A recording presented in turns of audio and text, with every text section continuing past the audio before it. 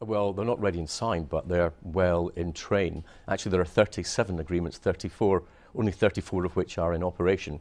Then, if you add Australia and New Zealand mutual recognition agreement, you get back to 36. Um, we signed the first of those on Friday. We'll sign another one next week, and we hope to sign the Switzerland deal, which is the most important of all of those, uh, those particular agreements, within the next few weeks.